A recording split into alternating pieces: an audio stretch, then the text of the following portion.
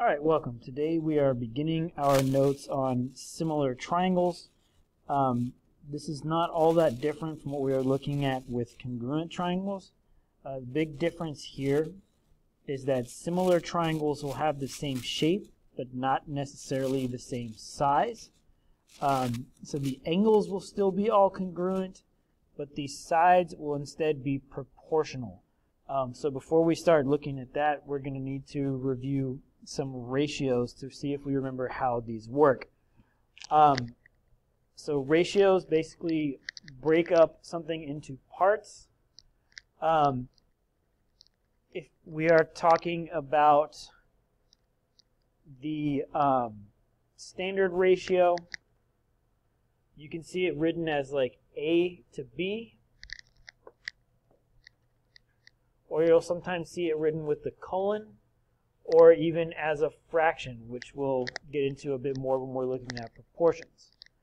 Um, when you see the phrase extended ratio, that just me, means that we can compare like more than two things. Um, so how does this work when we put it in practice? Basically, we know that the ratio is just taking some total and breaking it into parts. Um, so if we're told that the ratio of the measures of the angles of a triangle are 3, 4, and 5, and we need to find the angles, we know that we're going to take our triangle and we're going to split it up so that the smallest angle has three parts, the biggest angle has, or so the middle-sized angle has four parts, and the largest angle has five parts. But we don't actually know what each of those angles is. We do, however, know that the total is supposed to equal up to 180 degrees. So if I go into my triangle, let's say I have the smallest angle here, I know it's supposed to take that 180 and split it up into parts of 3. So let's call that guy 3x. I know that the middle size angle is supposed to be split up into four parts. So let's call that guy 4x. And then the largest angle we can call 5x. So again, we know that these three values together are supposed to equal up to 180. So if I take the 3x and add it to the 4x,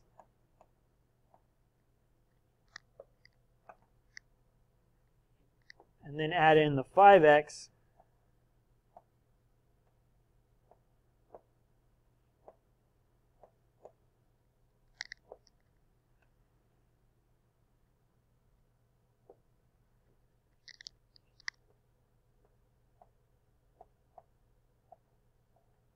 should come out to 180.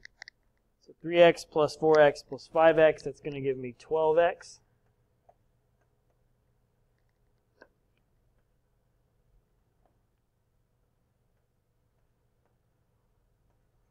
Divide both sides by 12, and we should get that x is equal to 15. So remember that we weren't actually looking for x, we were looking for the sides of the angles. So if I take 3 times 15, gives me 45 degrees. If I take 4 times 15, it's going to equal 60. And then if I take 5 times 15, I'm going to get 75. those are the angles of the triangle. They add up to 180 and they fit the ratio of 345. Let's go ahead and try the guided practice. Let's take a look at another example of some ratios. Um, so if our ratios are written as fractions, and we are trying to solve for a missing piece of that ratio, remember that we're going to use cross multiplication. We've also seen this called the butterfly method. Remember, you're going to take the top of one fraction and multiply it to the bottom of the other fraction. So if I'm solving this out, I know that 6 times 31.5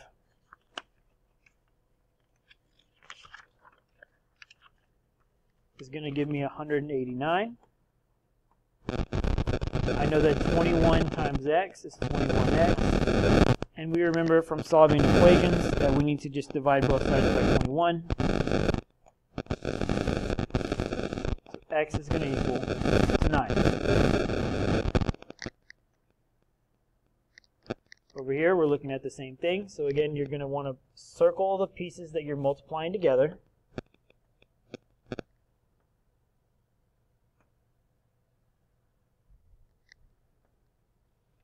So x plus 3 gets multiplied by 5. And 4x gets multiplied by 2. Remember when we have a number in front of the parentheses that is telling us to distribute the 5 or multiply it to all the numbers inside the parentheses.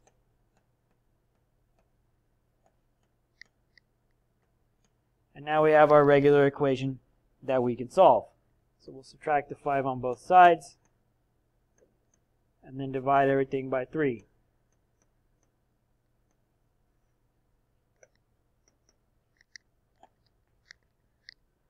Go ahead and knock out the guided practice. Again, remember cross multiply and then solve your equation.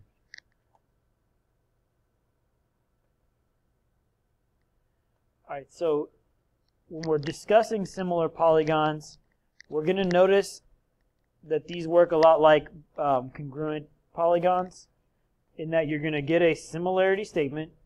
Notice instead of having an equal sign, they're just going to put the squiggle. So this guy by itself just means similar. The order that we write the letters still matters because that's telling us which angles correspond to each other. So angle A has to be congruent to angle W. Angle B has to be congruent to angle X. C matches with Y, and then Z is congruent to D. And you can use that to help you set up your proportions when you're solving for the missing sides of similar figures. Um, the ratio of the sides is referred to as the scale factor. So if I'm looking at this triangle here, A to B is 6, X to Y is 3. Those two sides are corresponding, so the ratio is 6 to 3, which you could then reduce to 2.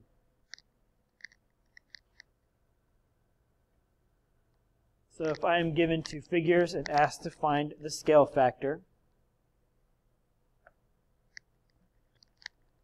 I'm going to figure out which parts correspond, right? So it told me that AB corresponds to PQ. It told me that you know BC corresponds to QR, and so on and so forth. Um, so what we need to do is figure out how the sides match up. So I notice there's an 8 over here, and this is marked as congruent, so I'm going to fill in an 8 here. I notice that these two marks mean that these two sides are congruent, so there has to be a 4 over here. And then when I look at the bottom, I see that only one side of this pentagon is filled in. So we have a 3 we need to figure out which side matches up with RS. So if I go back to the congruent or the similarity statement, RS matches up with CD. So RS has a 3, CD has a 4.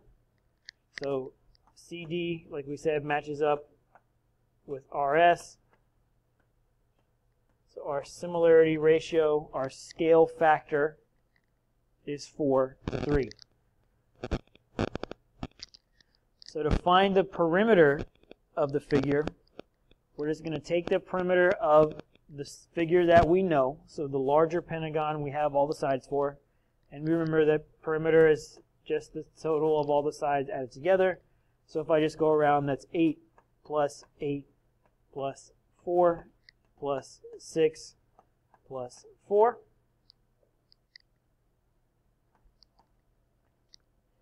Add all that up, and it gives me 30.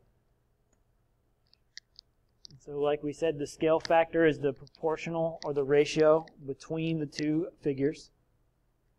So 4 over 3 is equal to 30 over x, again because the 30 was the perimeter for the larger figure.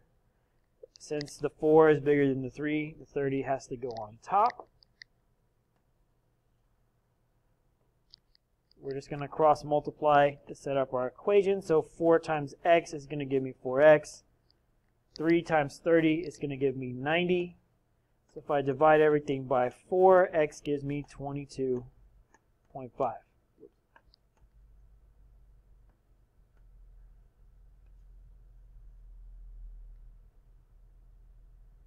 And that is it for that. Look at your guided practice. Set it up the same way. Um, we're going to look at our final example now. So we're given a similarity statement. AB or ACDF is similar to VWYZ. Here's our two figures. And we are asked to find some missing variables. So if I am looking for x, x goes between f and d. If I look at that similarity statement, df is proportional to yz. So that means the x matches up with the 10. So now I need two other corresponding sides to fill out my proportion. Um, so if I look at the two figures, I know AF and I know CD. On the bottom figure, I only know WY. So if I go back to my similarity statement, WY is proportional to CD. Again, WY, which was 6, is proportional to CD, which is 9. So now we've got our proportion set up.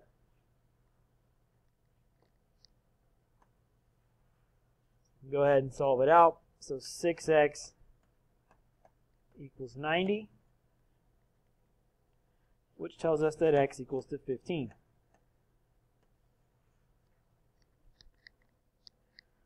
All right, so we can do the same thing with y. We know that the y uh, v to z matches up with a to f.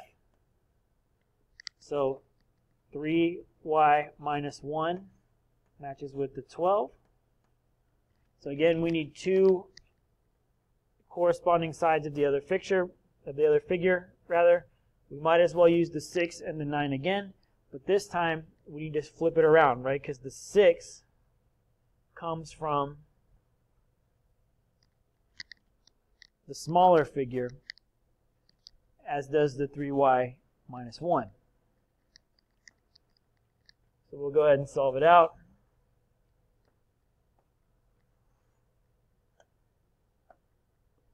So 9 times 3y minus 1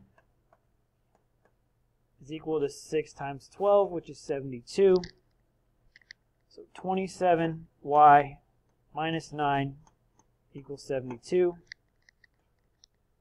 which tells us that 27y equals 81, which means that y equals 3.